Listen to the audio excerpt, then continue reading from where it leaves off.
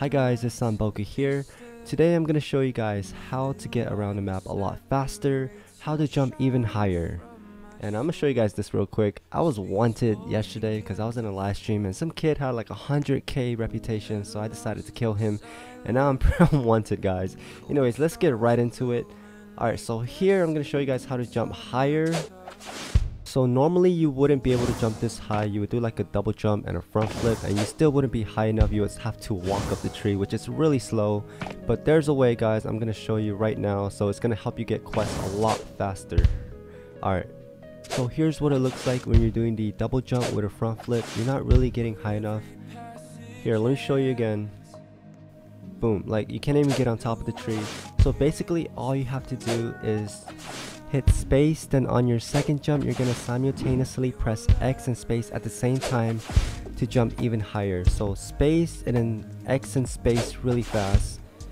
It's going to take some practice guys but once you nail it down you can jump even higher.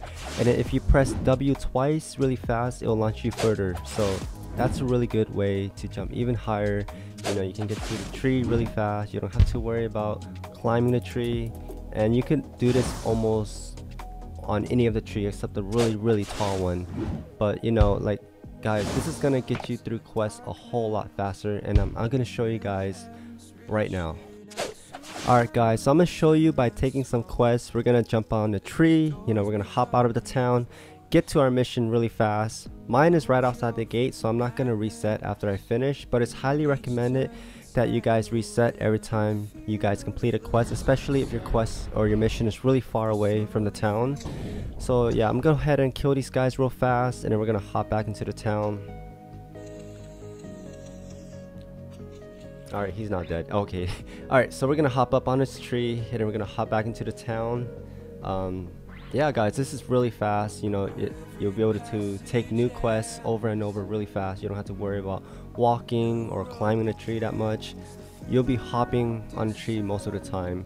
It's gonna get you around the map a whole lot faster.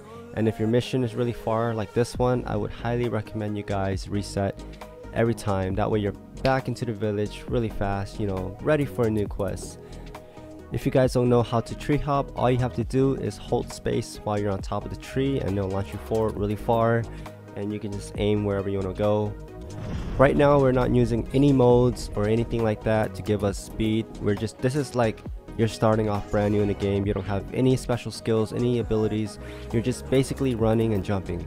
So yeah, this is gonna be, especially this is gonna be really good for the people like who are new to the game if you're already far into the game and you have those jins unlocked, you already maxed out your beast tailed and you can you know be in a form where you can move a lot faster then you don't have to worry about this. This strategy is good for people who are new to the game and who don't have you know anything to get around faster with.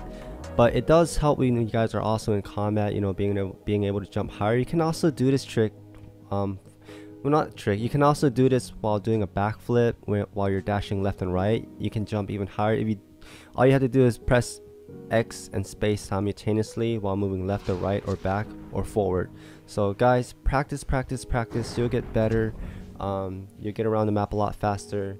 I don't know what else to say guys, but anyways, this is gonna be the end of the tutorial guys. Um, I hope this video helped you guys out a lot. If it did, smash the like button. Leave a comment down below if you guys have any questions. Um, I always respond or I try my best to respond to every single one of you guys. Make sure you guys subscribe to this channel. Also, turn on the bell notification and I'll see you guys next time. Peace.